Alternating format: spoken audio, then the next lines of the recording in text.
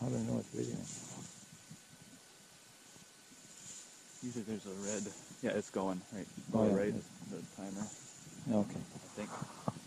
We're looking at the Sheyenne River here down at the Cheyenne Owego property. Just west of the bridge, there's a perfect circle of ice, probably 50 feet diameter, spinning in the river. It's an amazing wonder. I don't have a clue how it did it, but that thing is rotating as you can see.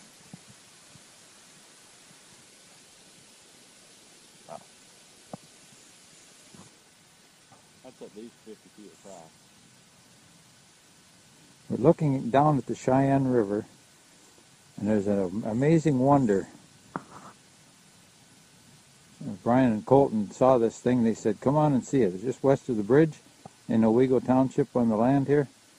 There's a big sheet of ice, a disc, probably 50 feet in diameter, that's sitting in the middle of the river, spinning. You can see it turning. An amazing wonder.